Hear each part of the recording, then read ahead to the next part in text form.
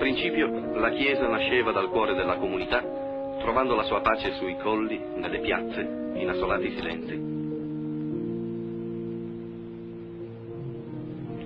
Poi la città è uscita dalle sue porte, travolgendo le vecchie mura.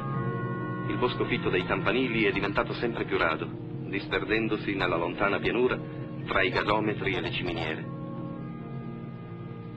La periferia è oggi accampata in un freddo e geometrico far west che non riesce a nascondere una segreta confusione di valori. Un nuovo tempo mette in crisi le situazioni passate e attende soluzioni diverse. Nella città antica le chiese, grandi e solitarie, si sono trovate talvolta mal partito. Dove i fedeli sono il 20-25% della popolazione, esse languiscono e ogni tanto muoiono. Chiuse al culto, monumenti ormai vuoti, alcune sono state trasformate in palestre, in magazzini, in officine e perfino in autorimesse. Ma andate fuori porta. I massicci quartieri di abitazioni, poveri o ricchi, non hanno previsto uno spazio per la domenica. La Chiesa, parente male accetta, si rifugia nei luoghi più incredibili pagando il subaffitto. In questa residenza di ricchi borghesi in vacanza, essa ha potuto adattarsi in un garage, grande come un canile di lusso.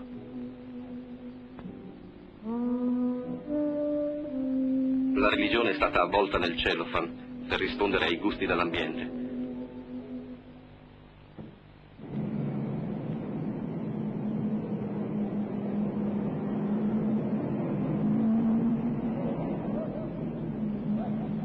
Nei rioni popolari le fabbriche dominano una geografia di piccole strade e misere abitazioni di operai, nascoste da ponti, cavalcavia, impianti ferroviari. Dove fare una chiesa? Anche le più rumorose officine comprimono il loro fragore in desolati cortili.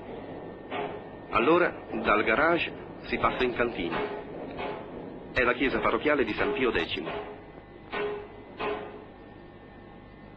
Un ex magazzino di canapa invita gli uomini che non guardano il cielo ad un umido raccoglimento, bersagliato da martellate sopra lamiere d'acciaio.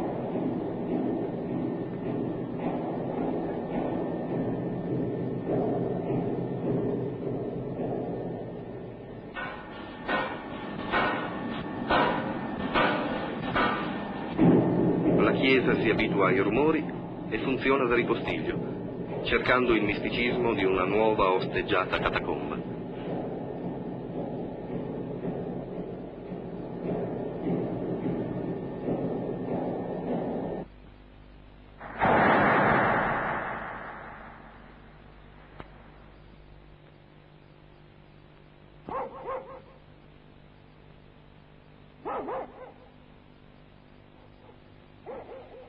Nostra Signora della Pace è un desiderio di quiete dell'ultima periferia, ma solo un bimbo ucciso da un coetaneo poté creare un giorno di commozione nel luogo in cui era avvenuto il delitto.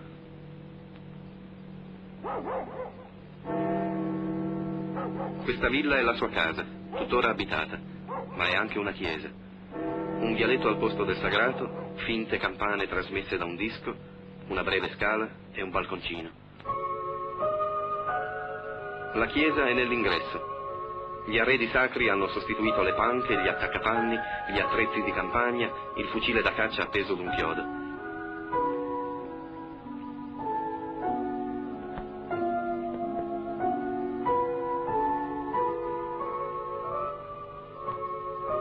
Nelle stanze accanto, la gente che ancora vi abita mescola le faccende di tutti i giorni alle cose che appartengono a Dio.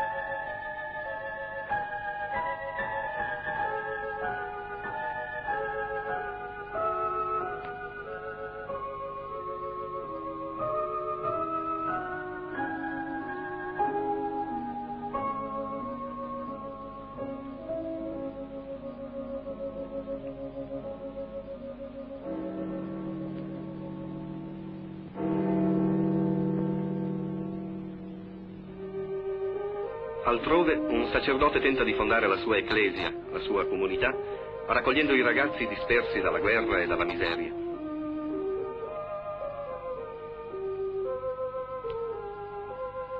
Ogni giorno, mentre egli si reca nella città vera a raccogliere l'elemosina e a sperimentare la carità del prossimo per i figli di nessuno, Le porte restano spalancate a tutti e i piccoli emigrati nella città provvisoria lavorano da calzolai, da tipografi, da falegnami, da fabbri.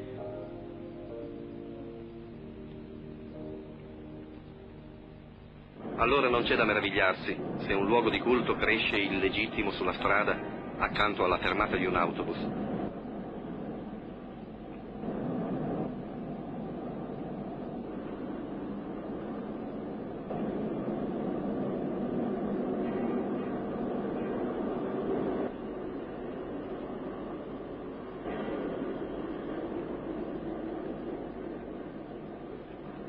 Passeggeri che passi per la via ricordati di salutar Maria.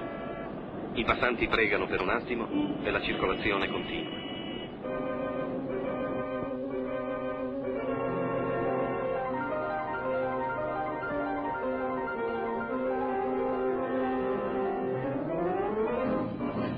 La chiesa viaggia persino in autopullman, carrozzone motorizzato di una nuova avventura zingaresca.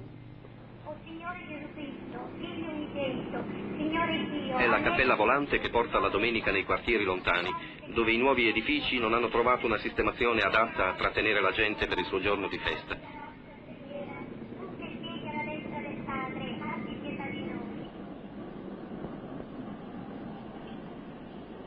Epistola di San Paolo ai Romani. Fratelli, noi non siamo debitori alla carne per vivere secondo la carne, perché se vivete secondo la carne morire. Ma se mediante lo Spirito fate morire le malvagie abitudini del corpo, vivrete. Poiché tutti quelli Queste soluzioni precarie sono dovute al fatto che una chiesa costa. Acquisto del terreno, l'edificio, il battistero, il campanile, l'arredamento, la canonica.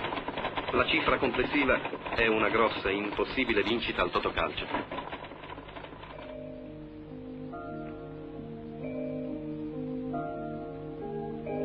Con le offerte dei fedeli ogni tanto si riesce a combinare un trasloco verso una sede più confortevole. Allora i santi fanno le valigie e, come sfollati in piedi sugli autocarri, abbandonano luoghi ai quali, nonostante tutto, era andato il loro affetto.